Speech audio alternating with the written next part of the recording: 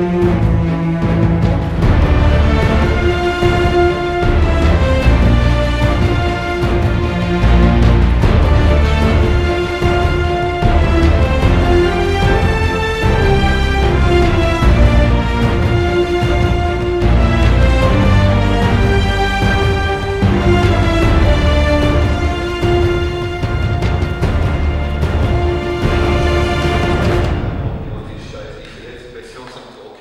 uh, come on, those ones.